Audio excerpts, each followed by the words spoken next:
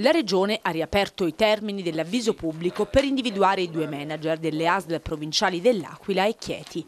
La Giunta ha stabilito infatti la riapertura dei termini per la presentazione delle domande per la manifestazione di interesse al conferimento dell'incarico di direttore generale delle ASL Avezzano sul L'Aquila e Lanciano Vasto Chieti per un tempo di 15 giorni, decorrenti dalla data di ripubblicazione dell'avviso.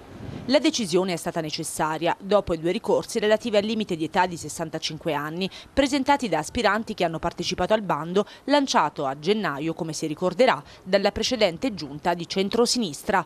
Ricorsi che di fatto hanno fatto slittare la decisione di nominare due manager in aziende che ormai dal 15 marzo sono senza titolare alla luce del fatto che la commissione esaminatrice ha concluso il lavoro di esame delle 39 domande. La nuova stima ora è per metà luglio. La Regione, nella nota, precisa pure che restano validamente acquisite le domande già presentate.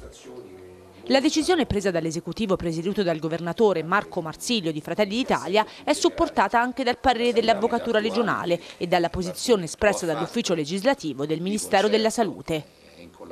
Nel parere reso dall'Avvocatura in relazione al previsto limite di età anagrafica inserito nell'avviso precedente, si legge che le singole regioni, le quali attingono unicamente all'elenco nazionale, possono utilizzare per il conferimento degli incarichi i soggetti inseriti per i quattro anni di validità dell'elenco, anche se gli stessi abbiano superato dopo la domanda di partecipazione alla procedura nazionale i 65 anni.